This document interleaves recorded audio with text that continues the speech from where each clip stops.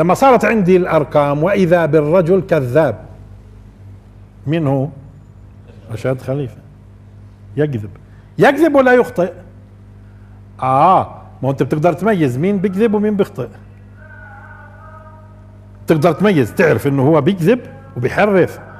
ولا آه فمثلا لم يخطئ ولا في حرف من الحروف اللي ممكن يجيبها عن طريق سلسبيل وغيره الكمبيوتر. ما أخطأش. الطاء أعطاها زي ما هي. الطاء أعطاها زي ما هي. السين زي ما هي. هدول لأنه ليش؟ لأنه بيعرف إنه أي واحد بيقدر يشتغل من وراه ويطولهن. ببين الكذب وين صار وين كل كل كذبه؟ الألف بالذات. الألف بالذات.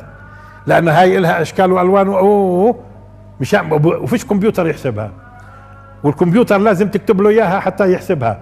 آه آه فصار واضح إنه بيكذب ولذلك آه، فيما بعد كتبت كتاب وبينت وين بيكذب هون هون هون هون هون هون. العدد كذا العدد كذا العدد كذا العدد كذا. وكلهن وين؟ في الألف غالبا. آه وشوية في اللام وشوية في الميم. كيف مسلم بيكذب على القرآن؟ ومشان تطلع للناس ببحث وتقول القرآن وتكذب كمان. وكذب كثير يعني مش شوي. يعني في شيء صح طبعا. وإذا به بتيجي الأخبار إنه هذا الرجل يدعي أنه رسول الله. وقبل ما يدعي أنه رسول الله أنكر السنة. أنكر السنة. قال القرآن بكفينا. هي واحد هي بدايات. ما هو دير بالكم هدول اللي بقول لك سنة لا اعرف. هذه بداية إيش؟ لما بعده. هذه بداية لما بعده. أنكر السنة؟ طيب وبدأ يعطي فتاوى ثم وإذا به بيقول أنا رسول. أنت رسول؟ شو دليلك؟ قال صار يجيب قضايا 19 إنه دليل إنه هو رسول. إنه قديش وردت كلمة رشاد؟ هو اسمه رشاد. آه في القرآن الكريم. آه من هذا القبيل إذا به رسول. طب هل كانت صارت راكبة؟ ليش؟ إنه بيكذب. أنا استغربت مسلم وبيكذب فصار معروف هذا لا هذا كان يقني. وإذا به الرجل يصبح صاحب ملايين. بعد موظف موظف صار صاحب ملايين. مين وراه مين وراه فهمتوا؟ في جماعات كثيرة معنية تكون وراه مشان يخربش في الدين. أنا شخصيا لما عرفت إنه كذاب بديت أكتب آه، كتاب في الموضوع وبعثت له قلت له يا رسول الله. هات دليلك وبعث لي إيه شو عندك أنت. شوفوا كذبه مع إنه بقول أنا رسول لغير العرب والعرب لا يؤمنوا فيه بمجرد ما بعث له بعث لي كل شيء. طيب على حساب ما أنت بتقول العرب بيؤمنوش وأنا عربي. العرب بيؤمنوش. هو بقول العرب بيؤمنوش. أنا بس للاجانب لغير العرب. قال وإذا كنت عربي وآمنت معناته كنها أمك مش عربية. المهم آه قلنا له يا رسول الله هات. شو عندك؟ بعت لي كله. كل ما هو عنده.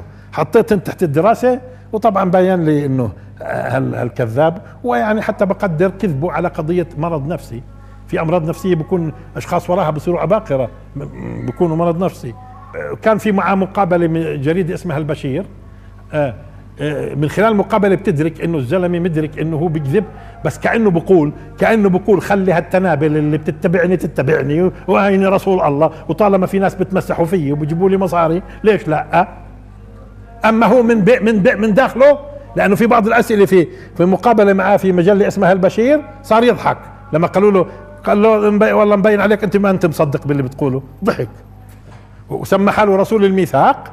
طيب بعت لي درسته كله وطلعت في كتاب سنة 1990 كان اسمه أولا عجيبة 19 بين تخلف المسلمين وضلالات المدعين ثم تطور فيما بعد لإعجاز العدد 19 إلى آخره.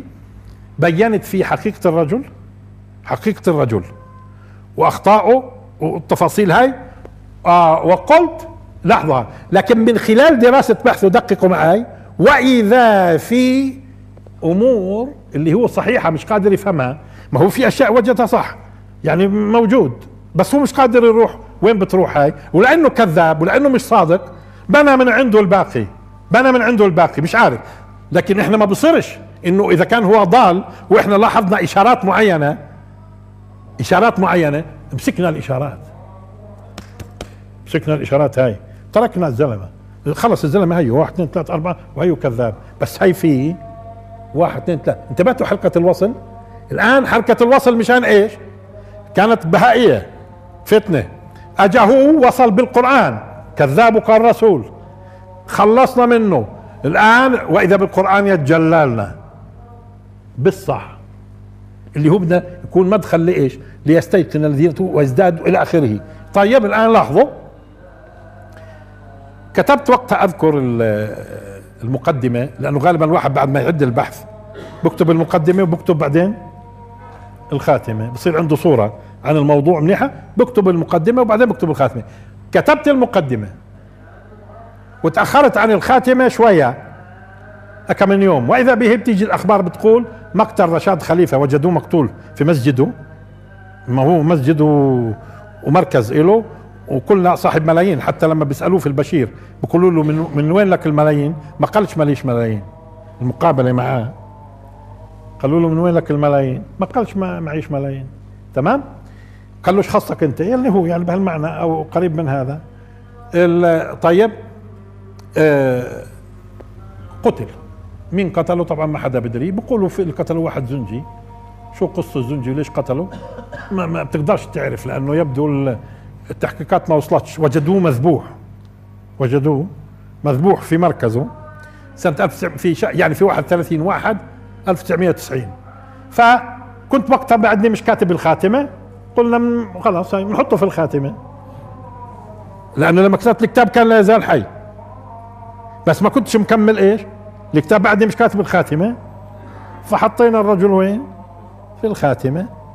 خاتمة الكتاب.